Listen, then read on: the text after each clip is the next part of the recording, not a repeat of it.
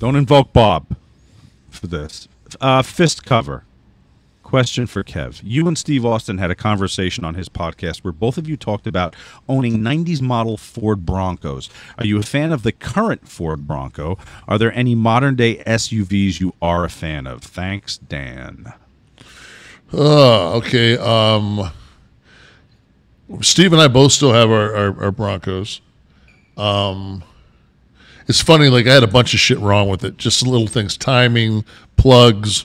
Uh, had, had to get my uh, air conditioning uh, recharged, you know, like a, but like a list of things. One of the windshield wipers, fucking, one of the windows was fucking kind of not sealing, and I take it to this guy, get done. The guy says to me, goes,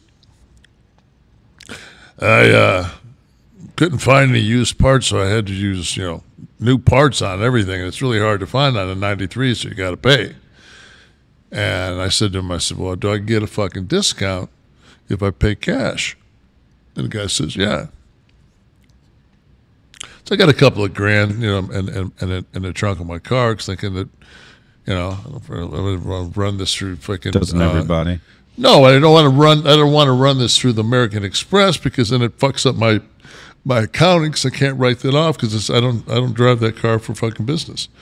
So it's just, all it is is a fucking it's a nightmare. Is what it is. It's just not worth it. The guy looks at me and goes, "Yeah, eight twelve. My bill was eight hundred and twelve fucking bucks." I was just like, "Fuck, really? That's it?" I was going to say that seems low. And it was man, that thing fucking runs now uh, like a scalded dog. So if you had to buy something new off the lot, what are you getting now?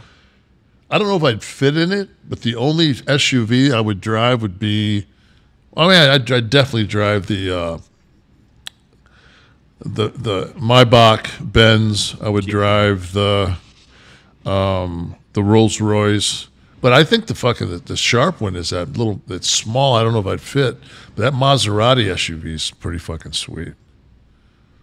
Now you, you, you notice I named all these high dollar fucking ones that my cheap fucking ass would never crack a fucking crack a check for. I was to say, and you're spending eight bills to keep your nine, 1992 Ford Bronco rolling. Right, eight eight hundred, eight fucking eight eight eight, eight short, not even large.